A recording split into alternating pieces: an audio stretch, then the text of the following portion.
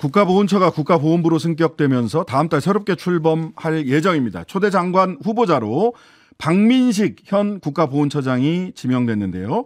과거 검사 시절 증거 조작 의혹 논란이 되고 있습니다. 오늘은 당시 사건에 휘말려 2년여간 재판을 받다가 최종 무죄 판결을 받아낸 당사자에게 직접 관련 이야기 들어보려고 합니다. 베트남 전 참전 유공자의 가족이기도 한 이분은 국가보훈부 장관 후보자에게 그날의 일을 되묻지 않을 수 없을 겁니다. 김남기 인천 도시경영연구원 이사장 전화로 연결되어 있습니다. 안녕하세요. 아, 네, 안녕하세요. 네. 자, 요즘 어 일명 어 그때 민병덕 의원이 엊그제 그 청문회에서 이야기를 하셨던데 김홍수 게이트 즉 법조 브로커 김홍수로부터 당시 고등법원 부장판사, 전직 부장검사, 부장판사 등이 연루됐던 엄청 큰 사건이었습니다. 당시 박민식 현 보훈부 장관 후보자가 이 사건 주임 검사였는데 우리 김남기 이사장님은 이 사건에 어떻게 처음 연루되기 시작한 건가요? 어, 제가 이제 출, 어, 출근하다가 갑자기 제가 이제 국회의원 보좌관으로 이제 출근 이제 한지 뭐 한 달도 채 안 된 상태였는데요. 네. 그렇게 이제 뭐 다짜고짜 끌려갔다가 매일처럼 매일같이 뭐 그 검찰로 부르기는 하는데 조사는 안 하고 또 그러다 보니 뭐 변호사를 만날 수도 없고 그래서 사실 제가 어떤 음, 도대체 어떤 혐의로 이게 체포됐는지도 뭘 수사를 받는지도 잘그 몰랐었습니다 초반에. 어 그러면은 긴급 예. 체포가 되고 바로 또 구속영장까지 나왔던 거예요? 예, 예, 그 구속도 바로 어, 됐죠. 아, 그래서 어 근데 이제 김홍수 얘기는 이제 들었는데 이미 뭐 연락이 끊긴지도 뭐 거의 1년은 됐던 네, 것 같고 네. 그래서 뭐 별로 그렇게 뭐큰 문제인지 제가 감을 못 잡았었어요 아. 처음에는. 조사도 안 하고 계속 그냥 검찰청으로 부르기만 했어요. 제가 20일 정도 이제 기소되기까지 그 네네. 기간 동안 거- 하루도 안 빠지고 매일 불렀어요. 그래서 구치소에서 예. 예, 그 주말만 겨우 이제 외부하고 면접이 가능한 음? 음. 면담이 가능한 상태였고 아 그렇게 조사도- 불러 그렇게 부르면 예. 변호사를 만날 수가 없어서 방어권에 엄청난 침해를 받는데 사실. 실제로 변호사가 어, 저 검찰청을 찾아왔었습니다. 저를 하도 아. 볼 수가 없으니까. 네네. 그런데 잠깐 어, 변호사 기다리라고 해놓고 그 사이에 저는 또 다시 구치소로 돌려보낸 겁니다. 아 계속 변호사를 그래서, 못 만나게 예, 했네요.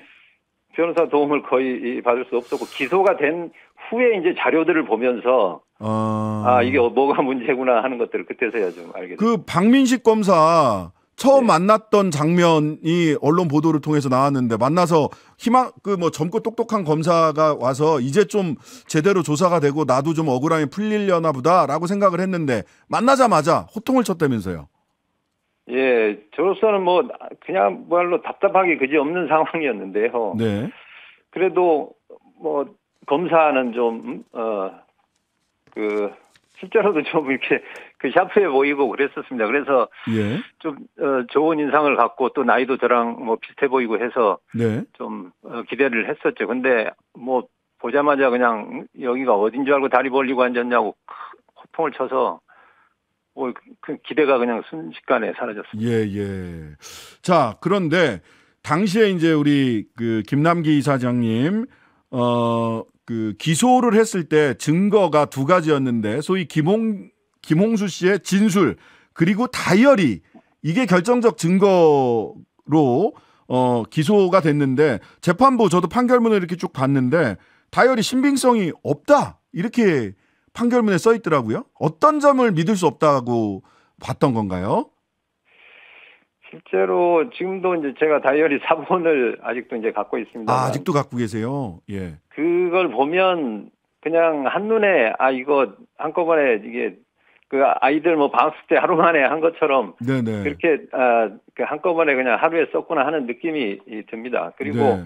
결정적인 거는 그, 어, 제가, 저희가 김홍수의 통신 기록, 그러니까 전화 통화 기록을 석 달치를 네. 어, 확보할 수 있었습니다. 네. 그거를 비교해 보니까 전체 중에 이제 한 아홉 건이 거기에 에, 그 날짜가 겹치던데, 아, 다이어리에 써 있는 날짜랑 예. 그렇습니다. 그 그런데 그 아홉 건 중에 음. 일곱 건은 어, 그 장소에 김홍수가 없었고 아, 한 건은 제가 그 장소에 없었죠. 왜냐하면 다이어리에는 어디에서 전달했었다 이런 얘기가 있는데 예. 그 통신 기록상으로 보면 그 발신지 추적이 되지 않습니까 위치가. 네네. 그래서 결국 이제 최소한 아홉 건 중에 여덟 건은 알리바이가 다 있는 거죠. 아, 그러니까 다이어리에는 김홍수 씨가 우리 김남기 네. 이사장님을 만나서 뇌물을 어떤 방법으로 줬다라고 날짜가 다 특정이 돼 있는데 예. 통신 기록을 보니까 그날 그 장소에 김홍수 씨는 간 적이 없어요. 그죠?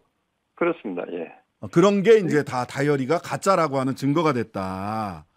그리고 결정적으로 이제 그 중에 한번 5월 27일자도 보면 상세하게 기록돼 있고 본인 진술이 거의 A4 용지로 작은 글씨로 한 두 페이지가 될 정도로 네네. 상세하게 돈 준 상황을 어, 이렇게 진술을 했는데 네. 사실 그날은 저희가 어, 회사에서 단체로 MT를 갔습니다. 아, 기- 우리 김남기 이사장님이 예, 그 회사가 8명 직원이 전체가 MT를 갔기 때문에 만날 수도 없었고 예.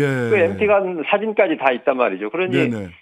그 그런 경우조차도 그렇게 없는 사실을 예. A4 용지 두 장을 빡빡히 채울 정도로 그 거짓말이 그렇게 어, 능수능란했던 거죠, 김홍수. 예. 그리고 저는 이 판결문 보다가 제일 좀 야 이거는 과천 경마장에서 천만 원씩 두회 2회에 걸쳐 수표를 현금화했다. 근데 보니까 어 오, 2005년 2월 12일과 13일. 근데 2005년 2월 12일과 13일에는 경마장이 문을 안 열었더라고요. 그런 네, 게 판결문에 나와요. 그러니까 이제 그 다이어리에 있는 내용들이 실제하고 이제 다른 게 예, 그것뿐만 아니라 많았죠. 근데 저는 예. 오히려 그 다이어리를 보면서 경마장 얘기도 나왔고 네. 실제로 전화 통화 기록에 보면 매주 하루도 안 빠지고 경마장을 간 예, 것이 나타나거든요. 아 그래서 본인이 그 예, 그렇습니다. 김홍수 씨가 저는 이 경마 도박에 이게 예, 빠져서 결국 어, 이 자금들을 전부 어 그 이 이렇게 거짓말로 이렇게 줬다고 하고 음, 어, 결국 그 도박 자금으로 다 쓰지 않았나 이런 생각을 금세 할 수 있었습니다. 아, 자기가 매일 경마장 가, 다니면서 하필이면 돈 현금화했다고 다이어리에 적어놓은 날은 경마장 문도 안 연 날을 적어놓고. 자 근데 예. 아니 이 정도면 지금 우리 김남기 이사장님 말씀하신 정도면 검사가 그냥 법률가의 상식상 이걸 증거를 삼아서 이걸 증거로 근거로 해서 우리 김남기 이사장님을 기소한다는 것 자체가 이 상당한 무리 아닌가라는 생각이 들거든요. 저도 그 부분이 좀 납득이 안 됩니다. 여러 차례 저도 그러니까 예. 재판 과정에서도 어, 항변을 했지만 그 이전에도 어 실제로 뭐 돈이 제 주변에서 이렇게 나온 것도 없고 전혀 어, 관련된 것도 없는 상태에서 네. 어 그 이제 다이어리 부분은 저는 뭐 이제 기소된 후에 다이어리 내용을 볼 수 있었지 않았겠습니까? 네네. 예, 그런데 검찰이야 통신 기록도 이미 갖고 있었을 거고 그렇죠. 다이어리도 자세히 보았기 때문에 네. 그 저는 이것의 문제점을 찾아내는데 구치소 안에서 아무 남의 도움 없이 또 아주 제한된. 자료만 가지고도 이게 조작됐다는 걸 다그 찾아낼 수 있었는데 네. 검찰은 뭐 더 쉬운 일 아니었겠습니까? 예. 그러면 왜 검찰은 이렇게 무리한 기소를 했을까요? 우선 어 좀 두 가지 관점에서 보는데 이제 검사 박민식 검사 같은 경우는 네. 이 다이어리에 어 유력 당시 뭐 대권 후보의 네. 이름이 거론이 되고 이 돈이 그쪽으로 흘러 들어갈 것 같은 이런 내용들이 좀 있습니다. 예. 그래서 저를 타겟으로 했다기보다는 네. 그런 거물 정치 거물을 잡을 수 있지 않나 하는 어, 그런 생각을 어, 했을 수도 있다고 보고요. 예. 판결문에 보니까 소위 뭐뭐 이렇게 돈 준 내역 중에 하나가 뭐 정동영 전 통일부 장관의 무슨 모친상에 돈 써야 된다라고 해서 뭐 돈을 우리 김남기 씨가 달라고 했었다 김웅수한테 이런 식의 예. 그런 뭐다 것도 있고 거짓말로 드러나기는 했습니다만 그렇습니다. 예, 그러니까 그 전혀 관련이 없는 내용인데 그런 부분에 현혹 되지 않았나 아, 이런 생각이 음. 들고요. 결국은 김남기 씨 우리 어, 김남기 사장님 더 위에 정치 야당 정치 어, 거물 치기 위해서 김남기 씨를 기소한 게 아니냐 이렇게 생각이 된다. 또 다른 거죠? 한편으로는요. 예, 예. 김홍수가 주변에서 돈을 수억 원, 적어도 저한테만 예. 해도 뭐 7억 원 가까이 돈을 준 것처럼 했는데 그게 네네. 만약에 실제로 로비에 사용되지 않고 본인이 편취한 걸로 밝혀지면 네네. 그 주변 사람들로부터 다시 추가적으로 고소를 어. 당하거나 그러지 않겠습니까? 그래서 아, 김홍수 입장에서도 이것이 음, 어, 제가 유죄가 되어야 음. 어, 본인이 그 추가적으로 기소 안 될 수 있어서 그런 이해관계가 같이 검찰과 또 맞물린 거 아닌가 하는 어, 예- 네. 예상도 해봅니다. 근데 이 주인 검사로서 이 사건을 쭉 그 끌고 갔던 박민식 당시 검사 2006년에 재판 도중에 그 검찰 옷을 벗었단 말이죠. 예. 왜그 갑자기 사건은 진행 중이었는데 벗었는지 혹시 뭐 얘기 들으신 거 있으세요? 제가 이 공, 뭐 공교롭게도 네. 가장 이 다이어리의 어, 어떤 그 조작을 어, 확인할 수 있었던 것이 김홍수의 통신 기록 아니었습니까? 네네. 이 통신 기록이 있다는 사실을 처음에 저희는 몰랐죠. 네네. 그런데 이 우연히 이런 어, 사실을 듣고 음. 검 재판부에 통신 기록을 달라고 요청을 했습니다. 네네. 그 직후에 사실 사표를 냈거든요. 아. 그래서 저는 거- 그런 어, 그 타이밍에 있어서도 예, 예. 이 어, 다이어리의 그 허구성 음, 조작이 입증될 수 있는 명백한 어, 이 증거가 될 수 있는 이 통신 통신 기록 요청과 예. 관련이 있지 않을까 하는 그런 의심을 하고 있습니다. 예, 이인규 전 중수부장은 박민식 당시 박민식 검사에 대해서 매우 무책임하게 사건을 여기까지 끌고 와 놓고 이상한 증거 내놓고 매우 무책임하게 그만뒀다라고 회고록에서 평가를 하기는 했더라고요. 자, 뭐 시간이 다 돼서 더 듣, 듣- 네. 그 묻고 싶은 말씀이 많은데 끝으로 어, 지금 뭐 아버님도 베트남 전 참전 유공자신데 보훈 가족이자 어쨌든 이런 그 증거 조작 의혹의 피해자 피해 당사자로서 박민식 후보자가 보훈 장관이 돼 보훈부 장관 되는 것에 대해서 어떤 지금 생각, 어떤 느낌 갖고 계신지 마지막으로 좀 말씀 좀 해주시죠.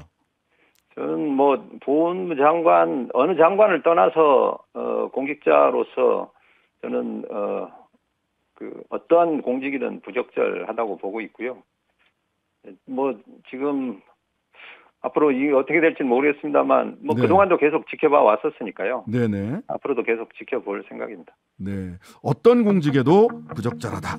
오늘 말씀 여기까지 듣겠습니다. 감사합니다. 감사합니다. 김남기 인천 도시경영연구원 이사장이었습니다. 하루 종일 기다려지는 진짜 시사. 평일 저녁 6시 5분 신장식의 뉴스 하이킥.